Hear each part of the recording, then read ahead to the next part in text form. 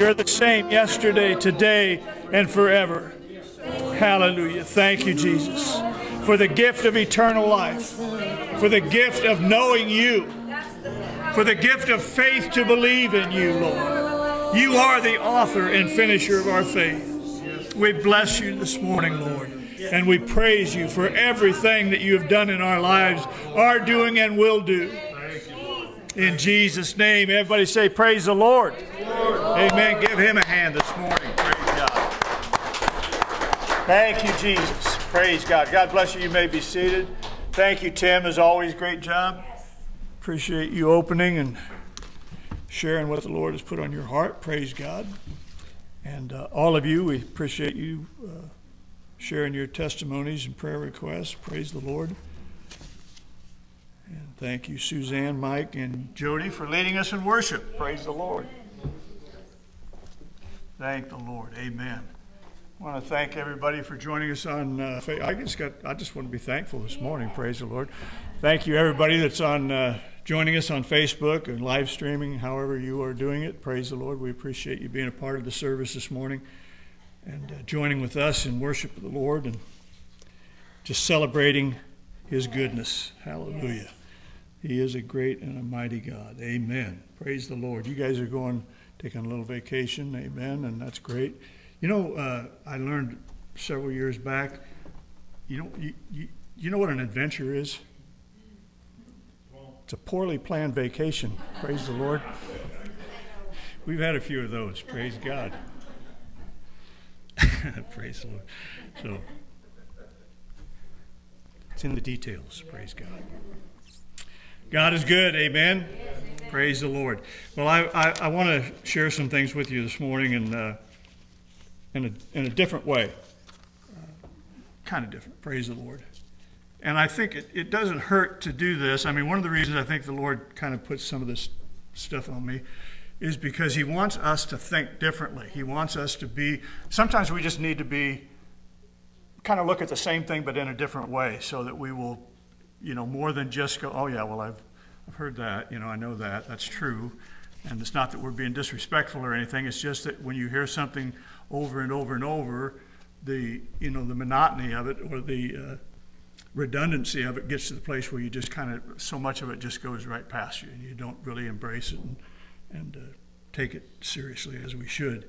And, and uh, as Don and all of you guys have said this morning, there's, we're in a time now where it is literally, uh, you know, lead, follow, or get out of the way. You know, I mean, it, it, we're at a place where God's really serious about the truth of His Word and how we apply it to our lives. And uh, so we need to take that seriously. In any way that we can do this, any way that we can come up with a way of looking at it differently, I don't mean to do this just to be confusing or weird. I, I, I want, I, this is how I want to study for myself because, you know, we've all been, we've been reading the Bible for years and years and years, and it can get to the place where you just kind of read it without, you know, honestly, they say you can't do two things at the same time, but I can't, I can be thinking about something and reading and all of a sudden I realize I just read a chapter and don't know what I read.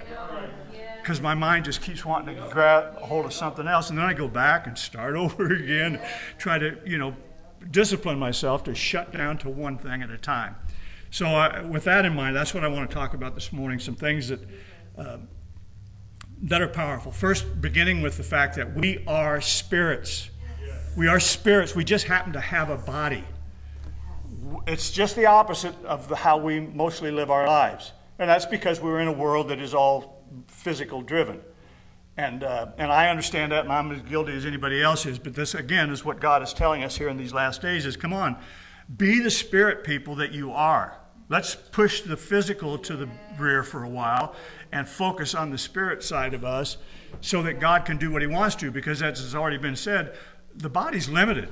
Now, here's the thing one of the things I want to talk about this morning it's not nearly as limited as we think it is because we always have a tendency to think of it just simply in terms of, of, of, flesh. But it's also a it's a vessel, it's a container of the Holy Spirit. It, it's a I don't want to get ahead of myself, but it, it's it's special too if you're born again. If not, well, it's, it's just an earth suit, as they say. But it's far more than that.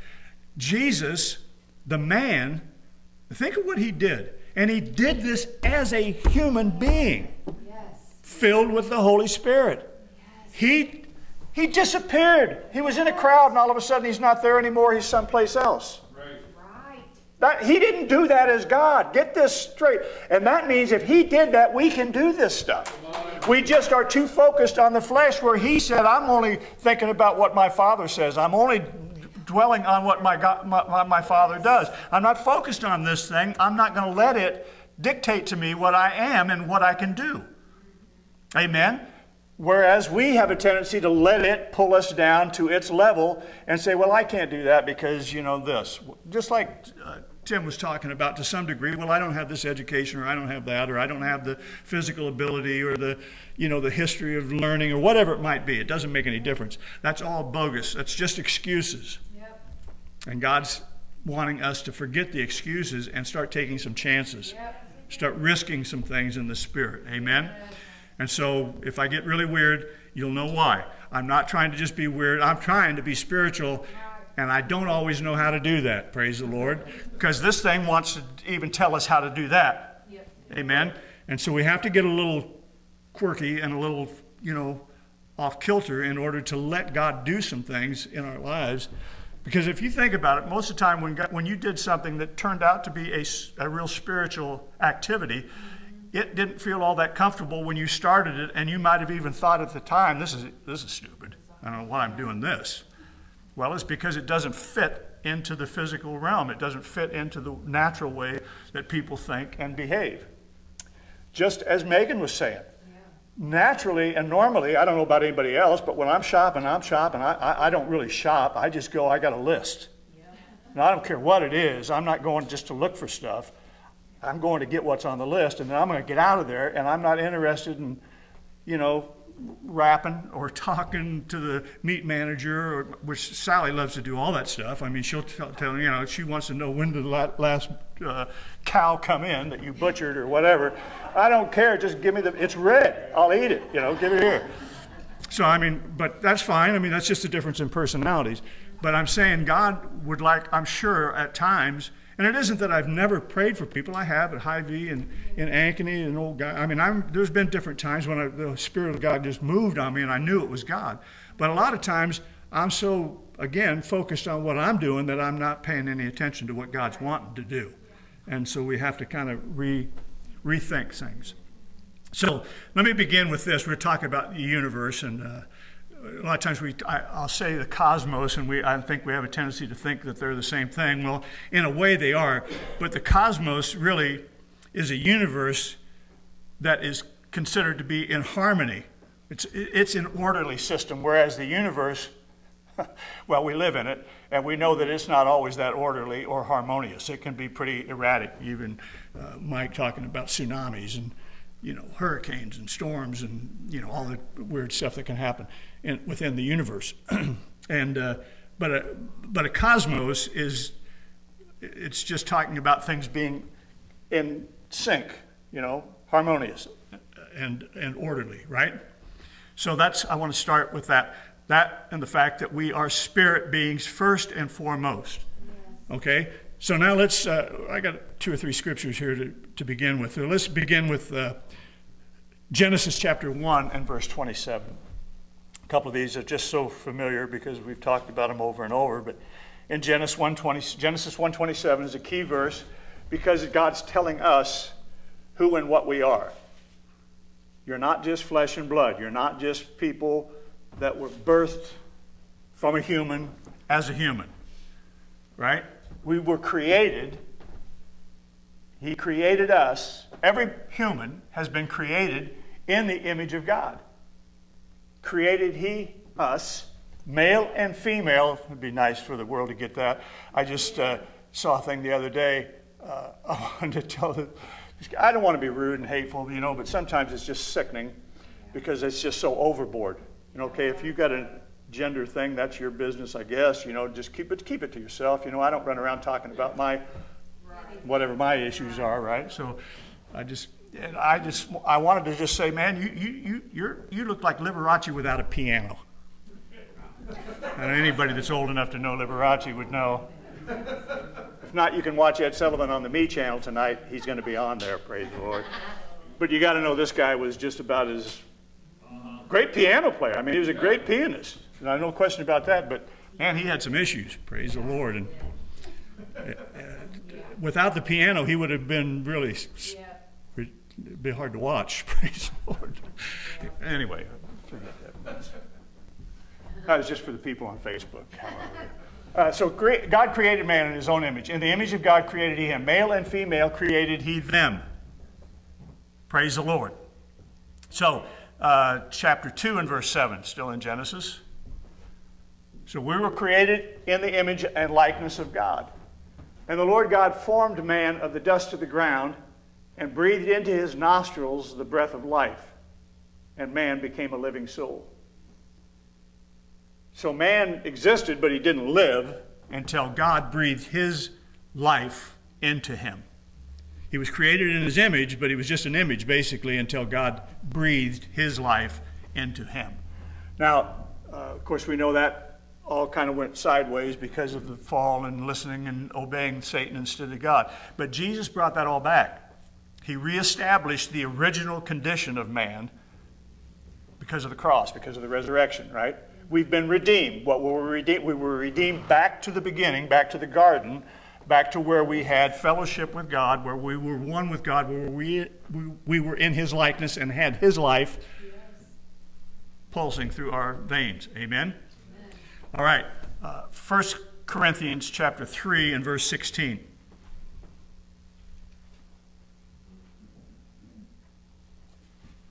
Know ye not that ye are the temple of God, and that the Spirit of God dwells in you? And again, that's one of those scriptures we read it and, you know, we just read it and think, okay. But we are what houses God in this earth. We're God's dwelling place. Yes. Amen? Romans chapter 6 and verse 13.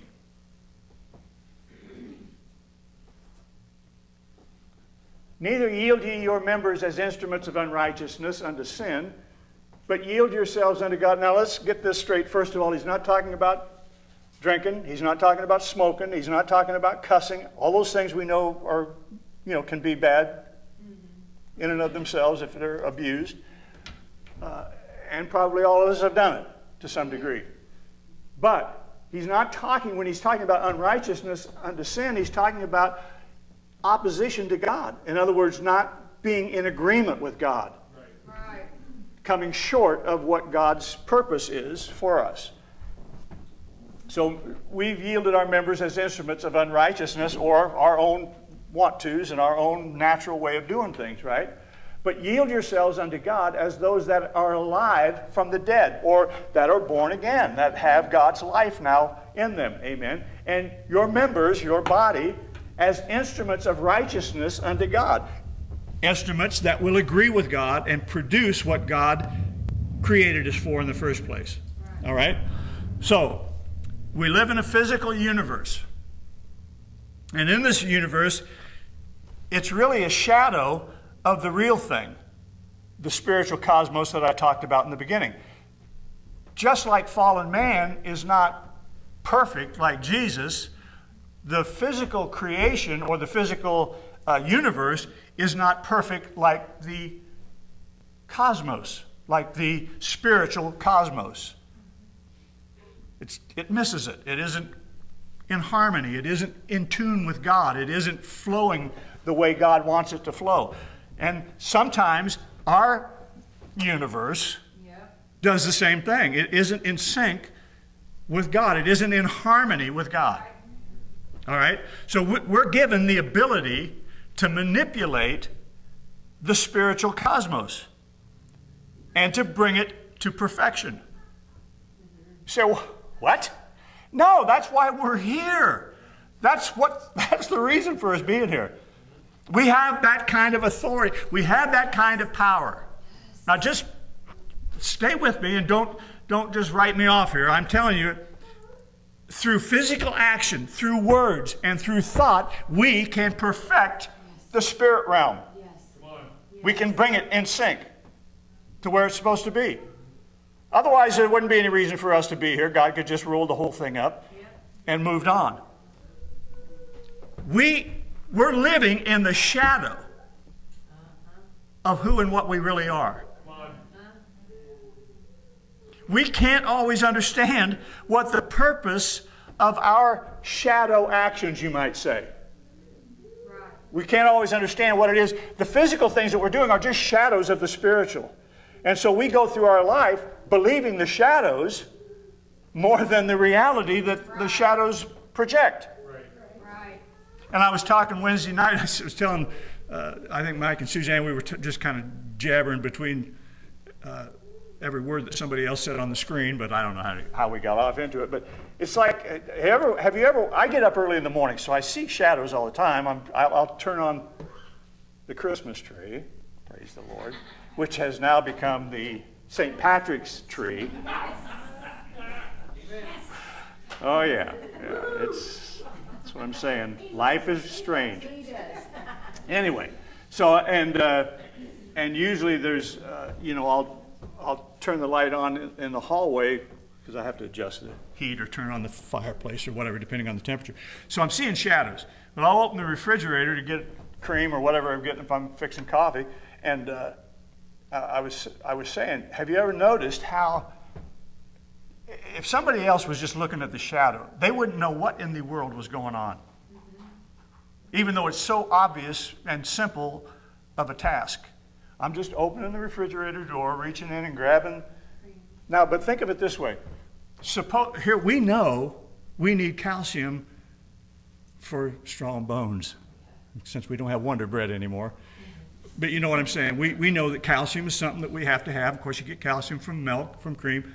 And so, not that that's my motive for getting it, but I'm just saying, if, if we understand we need that for our well being, we go to the refrigerator, get this thing that we need for our well being. And I open the door and I get it out and I use it. But if somebody else were watching this, it would just look like I'm talking about the shadow. It would look totally bizarre. They'd see this kind of long, dark thing kind of reaching out and then they'd, when the door opens, everything gets distorted then. It doesn't look like a door opening. It looks like a kind of a triangle thing on the wall. You know what I'm saying? It just, everything gets twisted. And they would see that and they'd think, what the heck? What is this? And then he took something out of there and they don't know. You can't tell from the shadow if that's milk or if that's calcium. You know what I mean? If it's, if it's whatever. They're just seeing a really weird thing happening. Now think about it. But in, but in truth, I'm doing something that's beneficial. I'm getting some calcium for this. But nobody knows that but me. I'm saying this is how we look at our own lives as shadows. We don't understand half of what we're doing that is spirit. God is leading us by the spirit and we're doing things, but we're seeing the shadow and it does not make a lot of sense. It just looks like random kind of weird things going on and we don't know what it is. That's kind of what I'm trying to talk about this morning is that there is a purpose. There is a real a reality to what we're doing in our lives even when we don't know what it is that we're doing. And part of the reason we don't know that is because we don't stay focused on who and what we really are. We're too busy just looking at the shadow or this thing instead of what we actually are. So if I haven't totally confused you yet, stay with me. I can do it yet. Praise the Lord. So we live in the shadows. And uh, we can't always understand the purpose of our shadow actions or the, or the words that we use. But here's the deal they're crucial to our well being and to the well being of the cosmos itself. Think, listen, I'm telling you, God has given us such authority, such a, a, a, a, impact and effect on things that we have no clue, we have no idea. If there's a reason for the 30 seconds or whatever, 60 seconds of tears in, in heaven, it would have to be, in my mind, all that we were capable of and didn't know. Yes. So,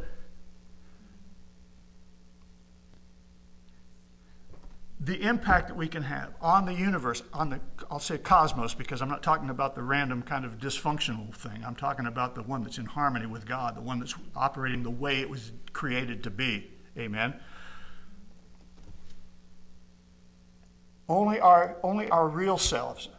See, it's crucial to, to us, but only our real selves, our spiritual selves, can comprehend the meaning of what it is we're doing. So it would behoove us to understand our spiritual selves more than we understand our physical. I know all my physical likes and dislikes and, you know, want tos and don't want tos and all that, but I'm not always in tune with what the Spirit is wanting. You see what I'm saying? So, what I'm saying is, if I was in tune, as in tune with my spirit man as I am with my natural man, I would have the, because what I'm doing as a, as a natural man, yes, I'm having an impact, but it's only in this chaotic universe. It's in the broken and disharmonious universe, rather than being effective in the harmony or in the cosmos, is what I'm supposed to be. All right, look at 2 uh, Corinthians chapter 5 and verse 17.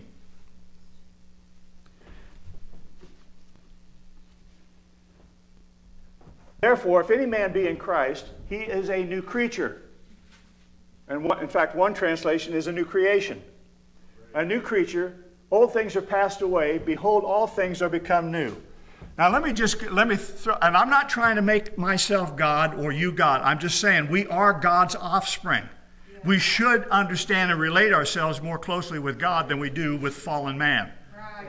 Another problem that we have. But think about it. I was in Christ before the foundation of the world. I exist now. The Holy Spirit dwells within me. I will live for eternity. I was, I am, and I will be. I am the creation that God dwells in. I am a new creation. When I was recreated, when I was born again, God came to dwell in this creation. Each one of us are a separate entity in that sense. We are each one. But the question is are we a, a universe or a cosmos? And that's what much of the scripture is about us yielding ourselves to God, being more receptive to God and less uh, relating to the earth or to the natural or to the universe. More related to the cosmos, less related to the universe. In other words, more in, in greater harmony and sync with God than we are with man. Because for me personally, and I think for most humans, we are more in sync with the world that we live in, even though we're not of this world. We're of the cosmos, we're of the harmonious world, but we are more comfortable, even though we don't like it. We're just more comfortable because we're more used to it, the natural, even with all of its dysfunction. Okay, so think here. Think about it this way: a builder asks an architect to design a building on paper, right? He does that before he calls the construction crew in to start building, right? And so the architect and the engineers they construct the building using symbols and figures. They manipulate these on paper until they achieve this a satisfactory result, until they come up with a thing that they they're, they're wanting to then build, right? And so then the builder translates these symbols and figures into actual physical entities. It's a, it's a lot easier to build by first using abstractions than by immediately attempting the physical construction without any symbolic or abstract construction. In other words, you don't just go out with a bunch of lumber and start throwing up a building. I've, I've done that with a doghouse and a couple of other things, and it looked just like what I had done. It was kind of like the adventure. Poorly planned, amen. But I'm saying that's, that's the reason we do those things. We are, what we need to understand is we are the symbols of the spiritual realm. This. And we can attain what is otherwise unattainable spiritual goals right here in the physical universe with our physical bodies.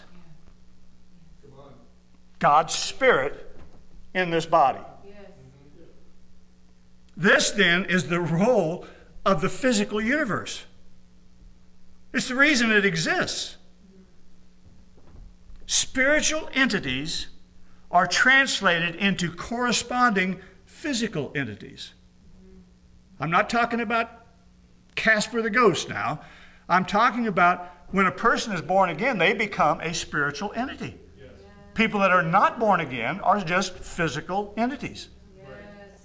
Right? And so we're playing the role of symbols that can be manipulated to attain results unattainable otherwise. Mm-hmm. Right. In the spirit realm. Right. See, we think we're thinking this, but that's not, you said it absolutely right. These results are then translated into the spiritual. We don't realize the impact that we have. We don't realize what God has done. Think about Jesus. He's this guy, but he's having an impact in the spirit realm. Principalities, powers. Right? We can choose to be meaningful symbols forming meaningful equations rather than being empty, meaningless shapes moving chaotically yes. and going nowhere. Yes which is the world all around us. Yes. Every human that is not born again, that's all they're doing is they're just playing a part in the chaotic universe. So just just as the true essence of the universe is its spirituality, it has no other reason for being other than that. The true essence of a human is the spiritual entity of which he is merely an aspect or a shadow. Okay?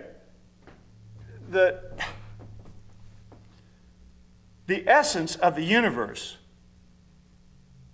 is its spirituality. It should be conformed to the cosmos, the spiritual world. Right? We're the same way. We are to be spirit beings, spiritual entities. But we live our lives like a reflection right. without ever totally developing the harmony with God, the connection with God, the connection with the cosmos that Jesus had. He was one. With it. And that's why wherever he went, a storm comes out of the universe. He didn't go, oh my God, a storm. No, he said, be quiet. Get in sync, get in harmony here. Yes. A tsunami. It's just a big wind with waves. Settle down. Yeah. Calm down. The apostles, the disciples, the shadows are freaking out. Why? Because they're focused on the universe. They can't connect with the cosmos because they're seeing themselves as these weak, frail, you know, they look at Jesus and they go, We've never seen anybody like this. We've never seen anything like this before. Well, why doesn't the world say that about us? Come on. Because we're more like the disciples than we are like Jesus. And I'm not picking on people. I'm saying this is what we, we need to reevaluate. We need to think this is not who I am. This is not what I am, not based on what God says. Right. It's what I've accepted right. myself to be.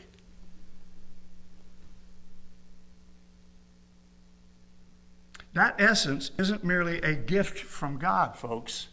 It is God. Genesis 2 7 again.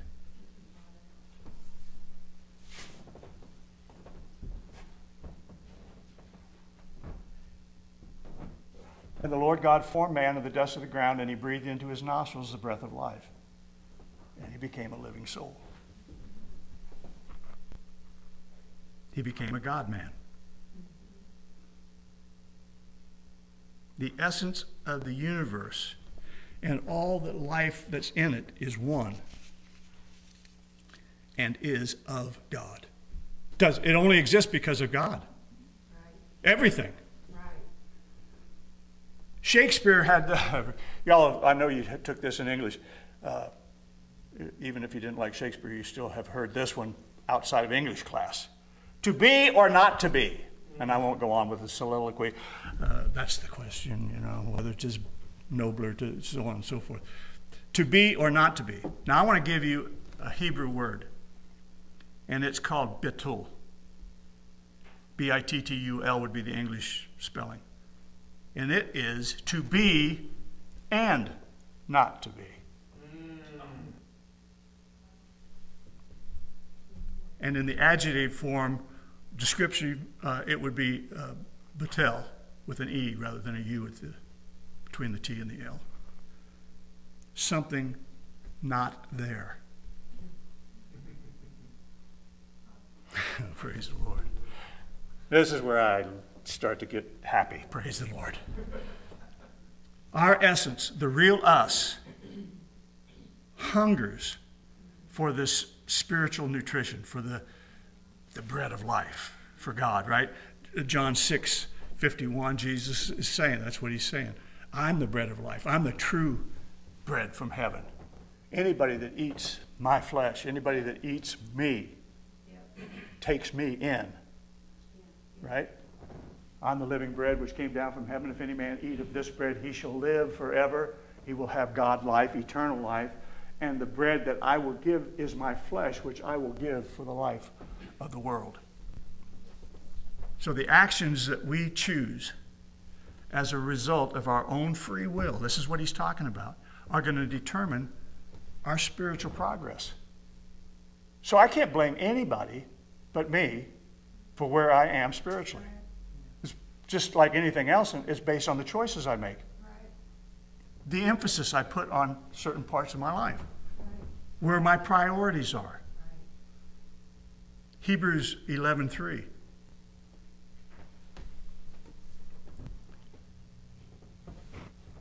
Through faith, we understand that the worlds were framed by the Word of God, so that things which are seen were not made of things which do appear. Through faith, we understand the worlds were framed by the Word of God, so that things which are seen were not made of things which do appear. Now, Jody has talked about it many, many times, and rightfully so. Words, what we say, how important they are. And you, nothing is more important than the stuff that we're saying. If God could create a universe with words, and He tells us through faith we understand worlds were framed by the Word of God, and He has given us His image, His likeness, His way of doing things, we ought to be really being careful about the words that we speak, and we ought to be bold about using the Word of God in every circumstance. Just like, just like physics tell us how to manipulate mathematical symbols in order to obtain truth of the physical universe, the Word of God and the Spirit of God tells us how to manipulate physical entities, ourselves, objects, actions, words, in order to manifest truths of the spiritual cosmos here and now to affect that and this. Now, I'm going to do something you may think it's a little weird, but it's just to get us out again, to kind of twist things a little bit. Einstein had an equation, and we all are familiar with it E equals mc squared, right? You pass these out, Toby. Or Jody, I don't care. Either one's fine. I think there's enough there for everybody.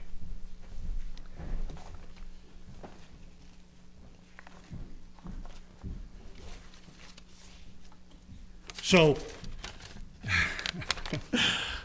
there's, there's enough there for, for everybody to get one, I think.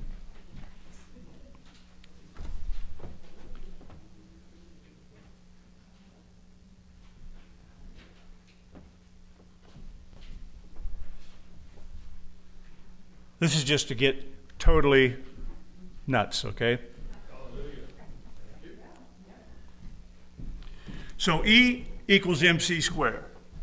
And that tells us that energy and matter are really two manifestations of the same thing. All right?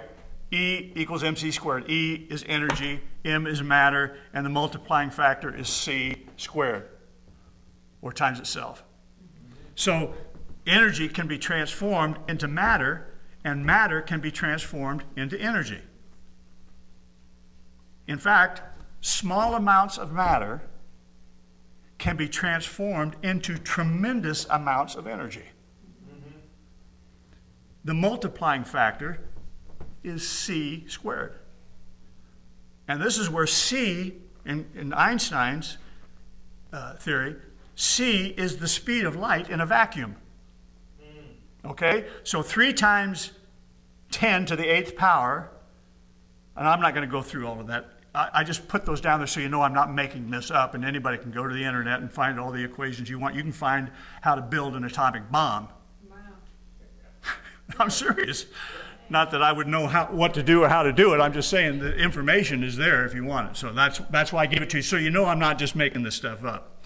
So it's the speed of light in a vacuum. So you go from, five, from 3 times uh, 10 to the eighth power uh, mat, or uh uh, uh, uh, matter per second.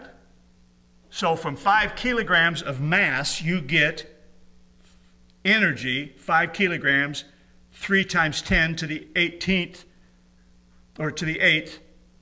Uh,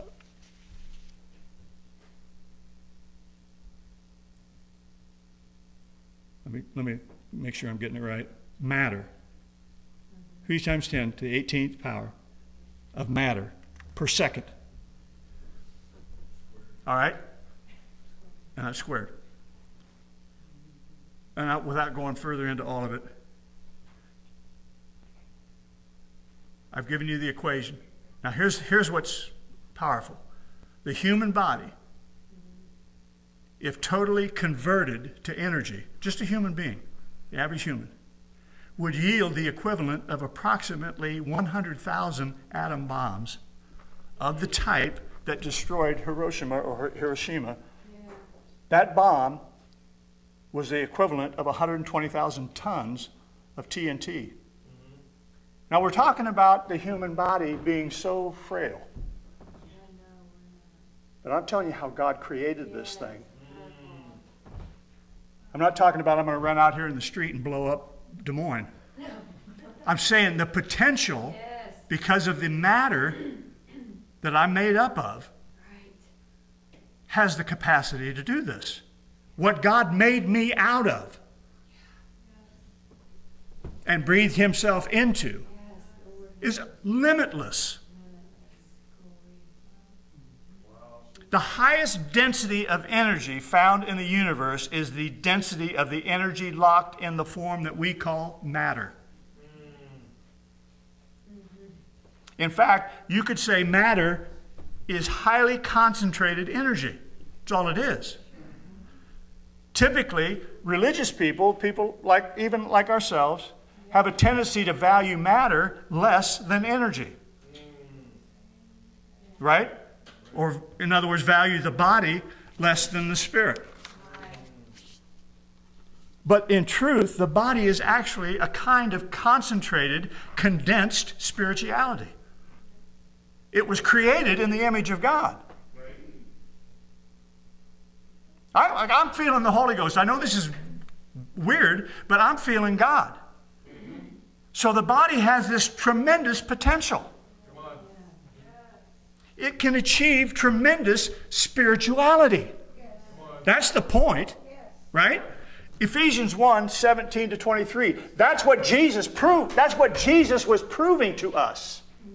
What a human body can do if it's totally submitted to the energy of God. What this matter can do when given over to spiritual energy that the God of our Lord Jesus Christ, the Father of glory, may give unto you the spirit of wisdom and revelation in the knowledge of Him, the eyes of your understanding being enlightened, that you may know what is the hope of his calling, what the riches of the glory of his inheritance in the saints, and what is the exceeding greatness of his power to usward who believe according to the working of his mighty power. Now, I'm, just stop for a second. We read this stuff, and I know I do, and I'm thinking, yeah, he's really powerful, but I don't, I'm not comprehending anything about the power of God and the power that he has put in me. Not to any real level of, of, of understanding. I'm reading it, and it's like, you know, it's, it's, it's like a textbook. I need some application. I need to see some lab work. I need to see something where it's actually working. Right? And that's what God created us for. We're the lab. We're the thing to make this thing come out. We're the, I, I had a science teacher, I'll never forget, he was a weirdo, but he, he was brilliant too, but in a weird way. And he used to, ta- he's teaching us vacuum. I can remember learning, uh, teaching us about vacuum. And he did it in the weirdest, sickest way, but it got my attention. He got a mouse and he put him in a vacuum chamber and he would pump all the air out of that chamber, and that mouse would be as thin as paper. I mean, it just flattening. And then he would pump the air back in it, and he'd pump excess volumes into it, so the mouse would blow up, and it would look like a, you know, like a beach ball practically. I mean, it would get huge.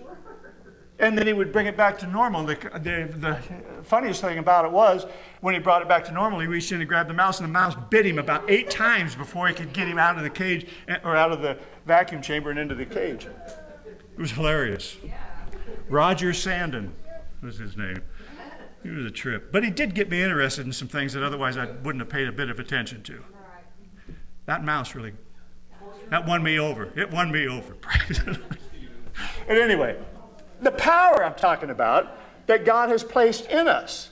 And we read it and we do not comprehend. We're not, we're not comprehending what He's telling us to comprehend. Right. Which He wrought in Christ when He raised Him from the dead and set Him at His own right hand. Somebody has talked about resurrection power yeah. is, is more powerful than all the atomic bombs you could come up with, as many as you could build. Resurrection power is greater than that. And we have resurrection power in us. So it's not, a, it's, not a, it's not an accident that we look at matter and what kind of, which is what we are made up of, that can create such energy. Yeah. All God's got to do is just flip a little switch, and all of a sudden, this matter that is just walking around as 185 pounds or whatever it is uh, at the moment uh, becomes hundreds of thousands of tons of energy that can split the universe. That can cause me to be here and there, that cause me to travel faster than the speed of light. And I'm there. Right? So, which he wrought in Christ when he raised him from the dead, set him at his own right hand in the heavenly places. Far above all principality and power and might and dominion, and every name that is named, not only in this world, but also in that which is to come. And hath put all things under his feet, and gave him to be the head over all things to the church which is his body, the fullness of him that fills it all. Yes. Now, let me ask you something. Do you think the devil doesn't know anything about physics? He's been around a while. Do you imagine that he is scared spitless with a P if you ever find out your potential? if you ever learn what Jesus learned, and I'm not telling you to get the equations all down and learn, I'm just telling you to start thinking in the, in, in the context of who and what you really are, he would flee. Yes. Because he knows all you got to do is, and he's gone. Yes. Come on. All you got to do is speak a word. He's out of there. I'm not exaggerating when I'm saying this stuff. I'm telling you, not only science, not only science, not only physics, I'm telling you biblical truth, theology at its most fundamental level that we never enter into. We, it's, it's become so fantasized and so unnatural that we think of it as like fairy tale stuff. And we, that's why we're not operating in it. Right. And all I'm trying to do is let's look at it in a different way. Even if we don't, we don't have to understand all the math. We don't have to understand all the physics of it. We just got to do what he tells us to do. Right. You could set an, off an atomic bomb and blow up Canada. what a thought. You know what I mean? Without knowing anything but how to flip a switch right. or push a button. There's the switch. There's the button. All we got to do is connect them. Say what he says. Renew our minds to the Word of God. And we have such humongous potential, resurrection power, atomic energy power. Amen? Of course, the body is still considered lower than the spirit. But that's because the body in it uh, itself is not the goal. Instead, it's only the body's vast potential for spirituality that gives it value, that gives it merit, what it, what it can be, if it's if it understands, if it gets it, right? In other words, the body is the means, the spirit is the end. The body gives us legitimacy. The body gives us the right to function here in the spirit world, in, by the Spirit. So it's not the end, but it is the means, and there is tremendous power within it. When it's activated, when it's used in the way it's supposed to be used. I don't know that my faith, you know what I'm saying? Don't misunderstand me. I'm not contradicting God, but I'm saying I don't know that it's my faith as such that when I reach out my hand and pray for somebody that heals them.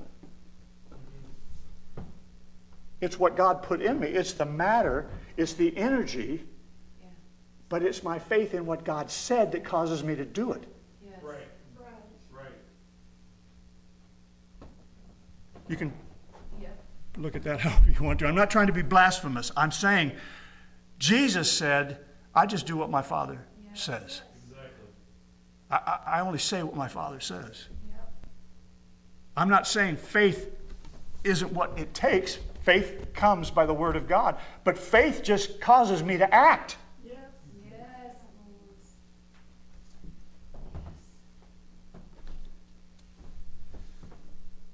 If one human body, just think about it, if one human body contains enough concentrated energy to totally destroy the world, and it does because we know what just a, a small portion of that that we have as matter in us was able to do to, to Hiroshima and Nagasaki.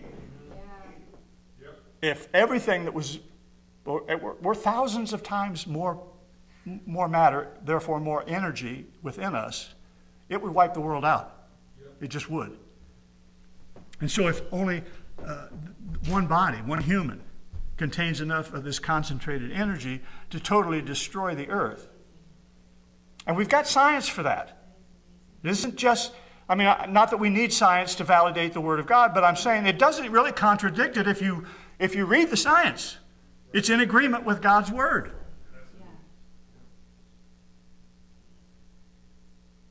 Then this body also contains sufficient spiritual energy to spiritually elevate the entire planet.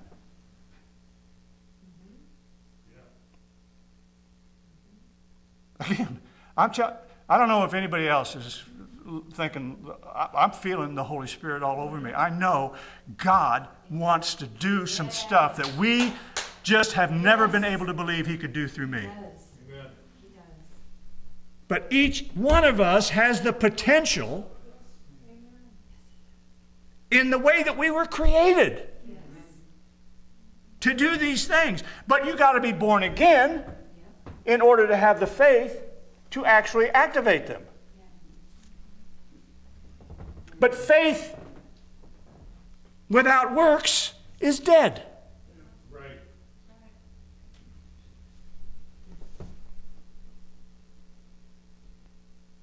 The entire physical universe is a concentrated form of the spiritual cosmos. but the potential of each part of the universe can only be actualized through the human interaction with it. God didn't make us for the universe. He made the universe for us. And that's why I don't buy this crap about global warming or climate change. Man isn't screwing this up because God created us for this environment.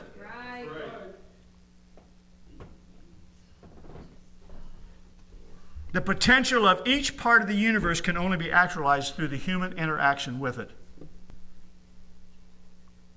So if there's a problem, it's because we're not interacting with it as we were designed to. It isn't because of carbon monoxide. It isn't because of carbon dioxide. It isn't because of, you know, aerosol sprays ruining the, you know, the ozone or something, or whatever other weirdo thing they're going to come up with tomorrow. When you disprove one, they'll just come back with a different one. So you can see faith, just think about this now. Faith in words, faith in prayer gives a whole new light to the reason for them. The reason for the faith, the reason for the words, and the reason for prayer. Because there's such tremendous power available when we understand it.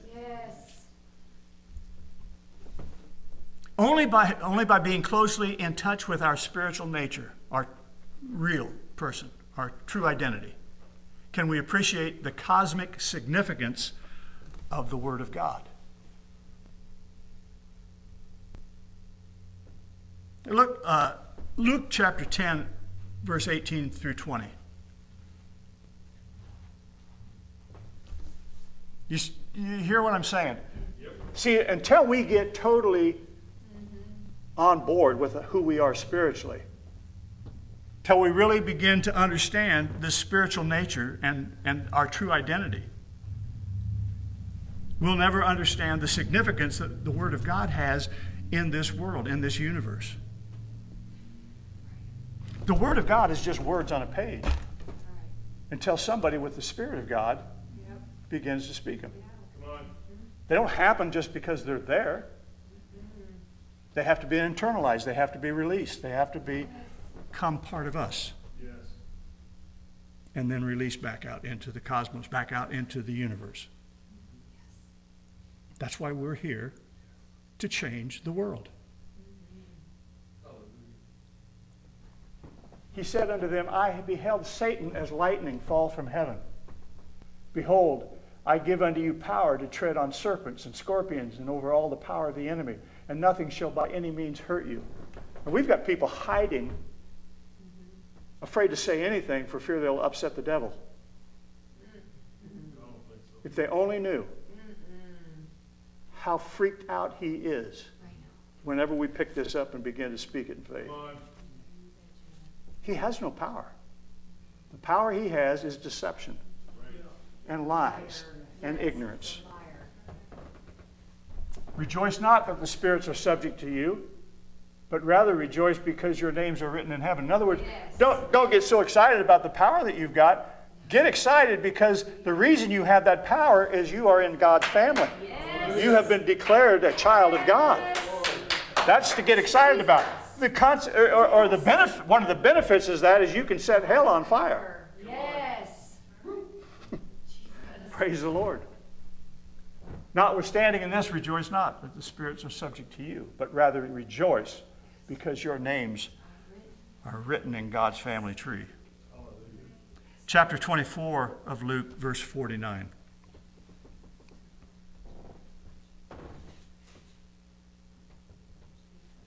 And behold, I send you the promise of my Father upon you, but tarry ye in the city of Jerusalem until you be endued with power from on high. Yes.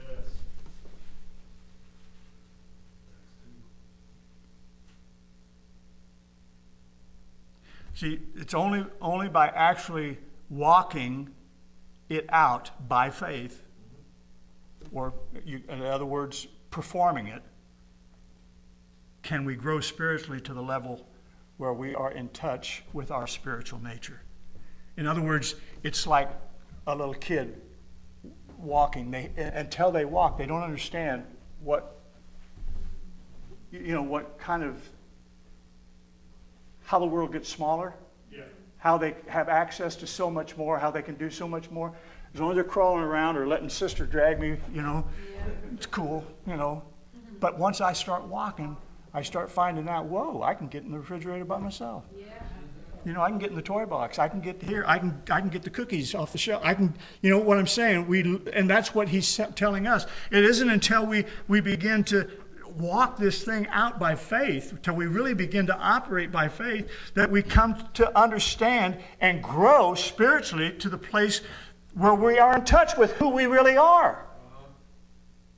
I'm not, you know, I'm I, I'm not this uh, innate object laying in a crib just peeing myself and uh, somebody dumping food in my mouth every No, few hours.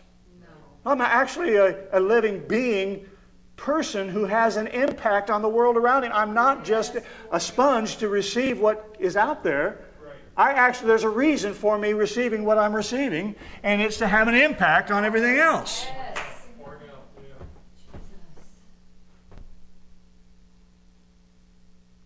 So it's not just, not only do we get the, in touch with our spiritual nature, but we also begin to understand what channels of communication exist for words rather than actions.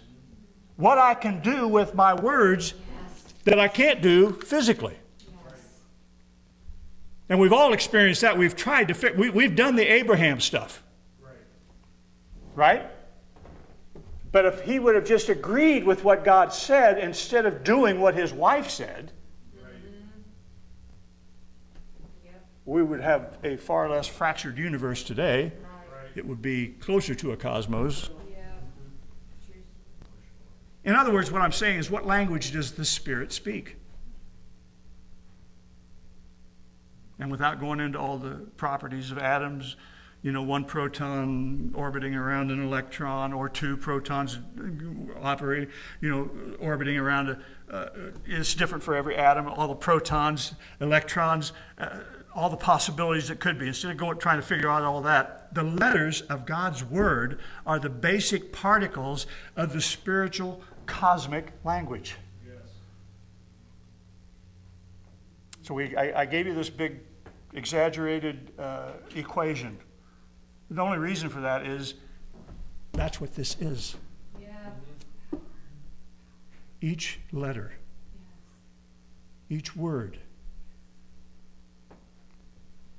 Look at, let's look at this uh, Genesis 1 1 through 7.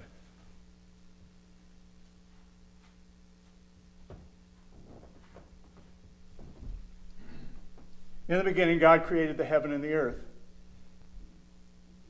The earth was without form and void, and darkness was upon the face of the deep, and the Spirit of God moved upon the face of the waters. God said, Let there be light, and there was light, and God saw the light, that it was good, and God divided the light from the darkness. God called the, light day, and the darkness he called night, and the evening and the morning were the first day. God said, Let there be a firmament in the midst of the waters, and let it divide the waters from the waters. And God made the firmament and divided the waters which were under the firmament from the waters which were above the firmament, and so it was. Now we just say, okay, those are letters, and we've read words. But that's not how God sees it. Right.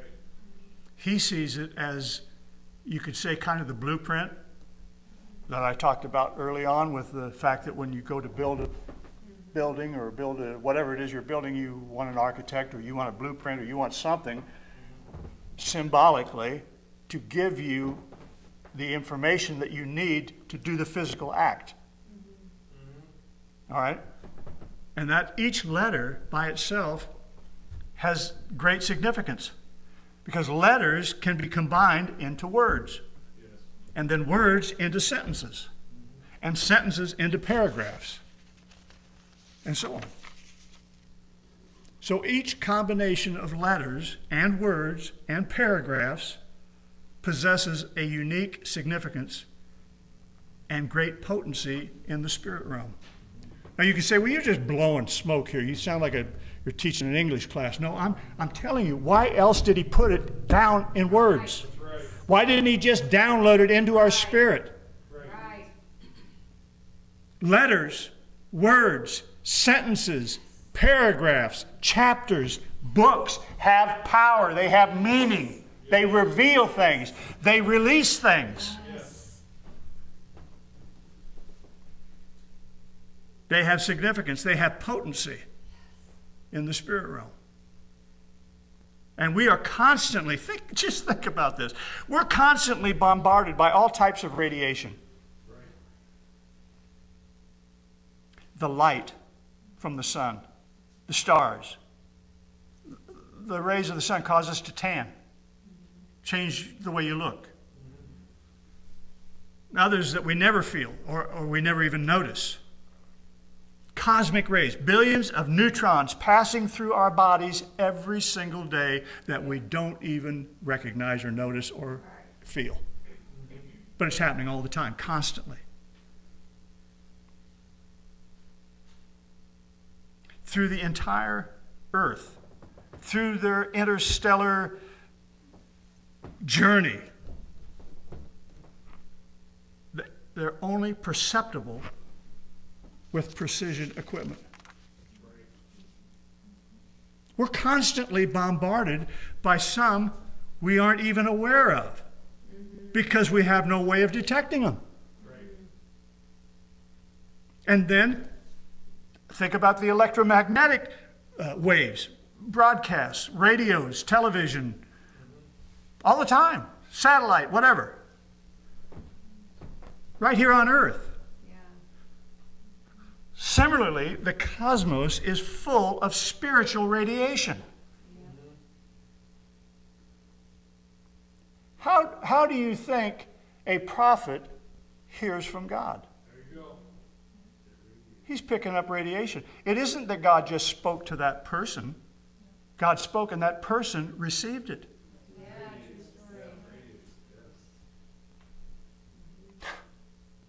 And I'm not demeaning the prophet, the position of the prophet. I'm just saying they have a gift. But that gift, Paul told us, I would that you all prophesy. I would that you all tuned in to what God is saying all the time. Jesus. Yes. We're constantly bombarded with messages, with visions, but we can only receive them with the proper spiritual equipment. We think God woke me up and, and gave me a dream, or and He has, and God has, or God has spoken to me in situations, and I go, "Wow, that was the Lord," and I think that was unique. That He took this moment and He just kind of infiltrated my life and, and bombarded my mind and my spirit with His words. No, He's doing it 24 hours a day, seven days a week, every moment. He's always speaking to us. And we have a problem giving Him 20 minutes of prayer time. I'm not being cruel. I'm talking to myself. I'm telling you, I've been living this. I, I was praying the other morning. I said, God, you know, I was thanking Him because I try to, I try to get biblical. You know what I'm saying? I try not to ask Him for anything until I'm sure to let Him know how much I appreciate what He's done. But it can almost become rote, you know. And I said, Lord, I want to hear from you. Now I'm being serious now. And I said, Lord, I want ears to hear and eyes to see what the Spirit is saying. He said, open them. He didn't say, okay, Nate, I'm going to I'm to give you a dream tonight. I, or, Nathan, tomorrow I'm going to give you a vision. No, he said, I'm, I'm just, how about listening? Because I'm talking all the time. And how many know two people talking, nothing gets said?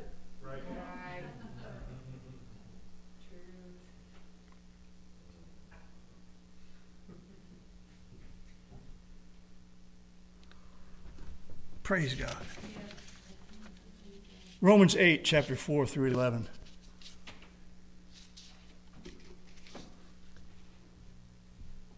Praise God. Romans 8, 4 through 11. that the righteousness of the law might be fulfilled in us, who walk not after the flesh, but after the Spirit. For they that are after the flesh do mind the things of the flesh, but they that are after the Spirit, the things of the Spirit. For to be carnally minded is death, Spiritual death. to, but to be spiritually minded is life and peace. Because the carnal mind is at odds with God, it, it's against God. Because it's not subject, To the Word of God. neither indeed can be. So then they that are in the flesh cannot please God. But you're not in the flesh, but in the Spirit, if so be that the Spirit of God dwell in you. Now, if any man have not the Spirit of Christ, he's none of his. And if Christ be in you, the body is dead because of sin, but the Spirit is life because of righteousness. Now, I'll just say, I'm going to just throw this in there, but how did God raise dead bodies? By the Spirit. So, though our body may be spiritually dead, it can be resurrected here and now. He said he can quicken our mortal bodies right now. He's not talking about in the rapture or after we're dead. He's talking about here and now. They can become spiritual vessels. But if the spirit of him that raised up Jesus from the dead dwells in you, he that raised up Christ from the dead shall also Quicken your carnal body, your mortal body. by his spirit that dwells in you. And this is everything I'm talking about this morning is right there in that paragraph. If Christ be in you, the body is dead because of sin, but the spirit is life because of righteousness. But the spirit of him that raised up Jesus from the dead dwell in you. He that raised up Christ from the dead shall also quicken your mortal bodies. So, by developing and, and refining and fine tuning our spiritual focus and faculties, we can begin to discern Spiritual radiation. And you can be walking in Walmart or Target or Hy-Vee or Fareway or wherever. And all of a sudden, Okay. The Lord wanted me to pray for you. He said you're struggling with. believing that God's going to heal you. And He's told me to tell you, you are healed. I don't know. You know, I'm just saying. It's out there. It's just a question of whether we're going to Tune in the receivers Right, and get it.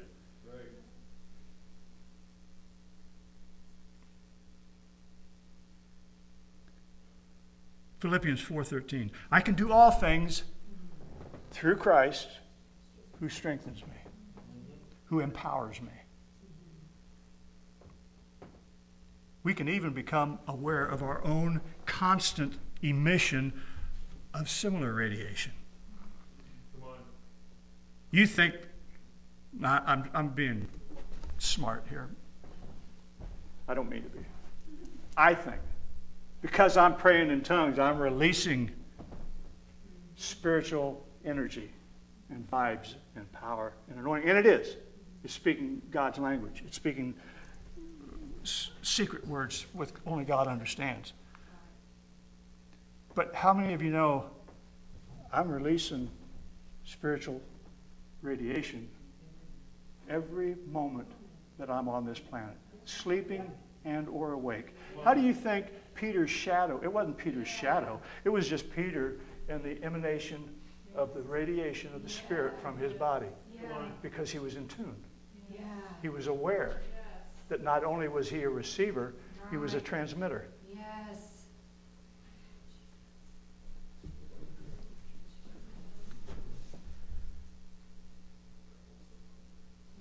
So we're doing it all the time, but God's wanting us to be aware of it,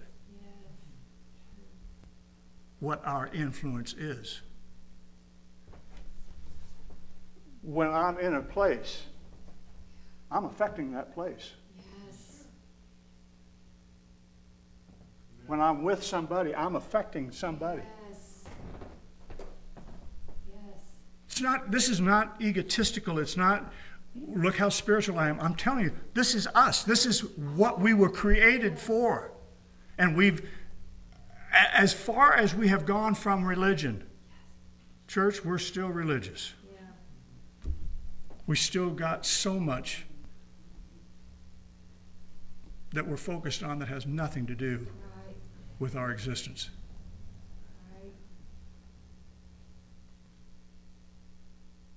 We'll even come to realize our thoughts, our emotions, our words, our prayers all radiate from us in every direction. Just like a broadcaster.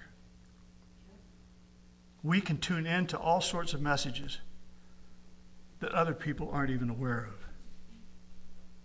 But we can be tuned into them. Do, do words exist before they're spoken? Yeah. Because words are really, they come from emotions. They come from feelings. They come from uh, ideas.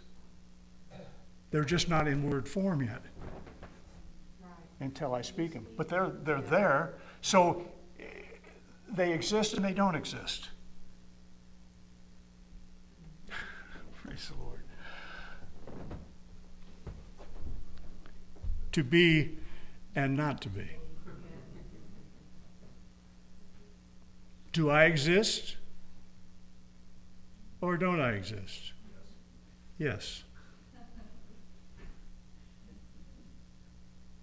I was crucified with Christ. I'm seated with him in heavenly places. I was buried with him. I was risen from him. I was in Christ before the foundation of the world. I was. I am, and I will be. Just depends on where I'm at. Spiritually speaking, my influence. Uh, yep.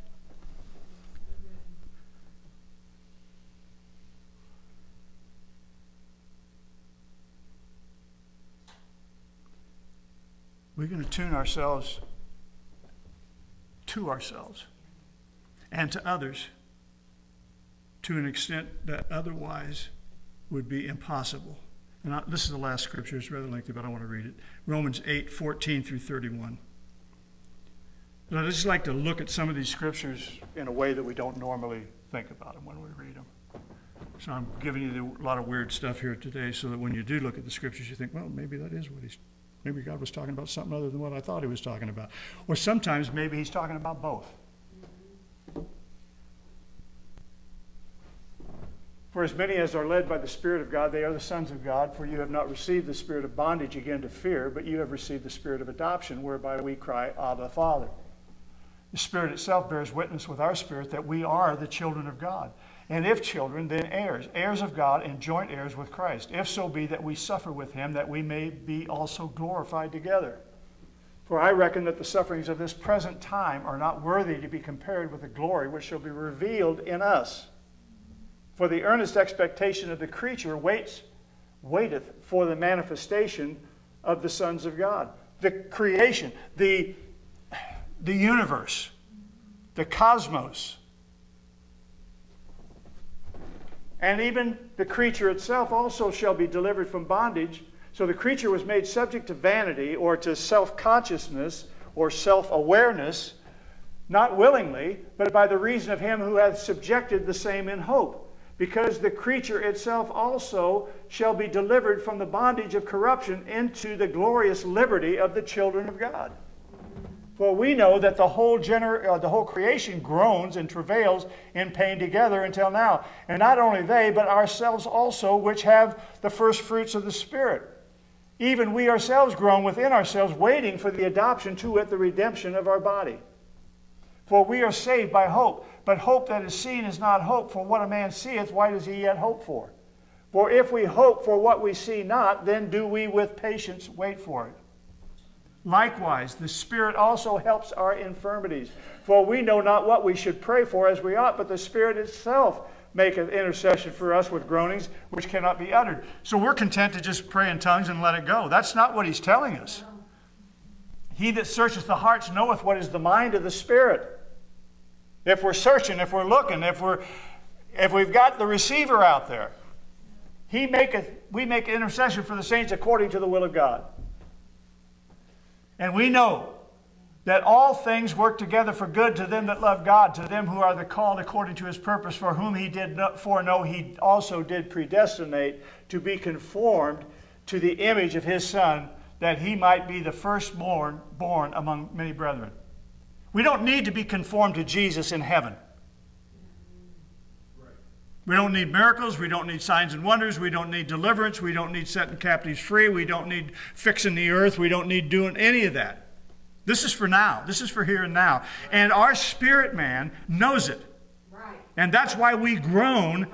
and moan with our spiritual condition, knowing there's got to be more. There's just something in us, and it's that something in us is the God in us that's saying, You're, you're more than this.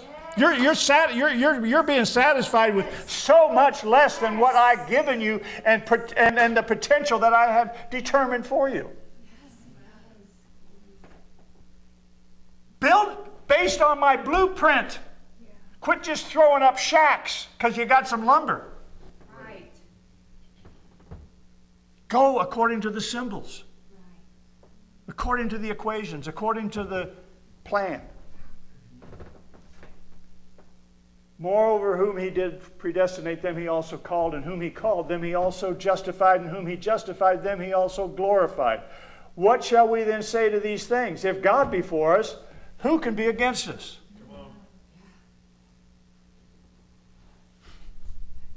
Obviously, that's rhetorical. Nobody, no, but they can they can be not liking us, but they cannot be against us because they won't stand. They can't. They can't stand. They can't.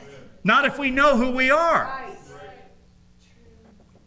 We can develop this inherent potential by developing and fine tuning our spirituality on our built in transmitting, transmitters and receivers, which is the Holy Spirit. Well, we gotta we gotta get a little Simon Peter in us Yeah. and get out of the boat and take a chance and take some risks and Got it. Yeah. huh? And quit looking at conditions to determine our capabilities and look at Jesus. Yes. That's the prototype. That's what you're capable of. That's what you can do. Created in the image of God, we're commanded to walk in the ways of God, in His likeness. Right? Right. Now let me just I'll just quit with this. He wouldn't command us to do it if it weren't possible for us to do it. That's right. That is right. He would never tell you to do something you can't do. Right. All things are possible. Yes. Nothing shall be impossible. I can do all things. I am more than a conqueror. Over and over and over, he's feeding us this truth. And we go, gee, that's nice. But you know, I got this bill. Or I got this thing. Or I got that thing. Or look at the world, the country, the state, the, you know. Let him look at us for a while. Yeah, no kidding. Let him deal with us for a change. And see what God will do. Praise the Lord. Give the Lord a hand this morning. Praise God. Thank you, Jesus. Let- I just say, I'm just saying, let's be bold. Let's try some stuff we haven't done. Just because we haven't done it doesn't mean we can't do it. Right. Just means we haven't done it. Right. Praise the Lord. We can do all things. He's given us all things Yes. so that we can do all things. Amen. So go in the power and the boldness of Jesus Himself and see what God will do on your, our behalf. Praise the Lord. You're dismissed in Jesus' name. God bless you.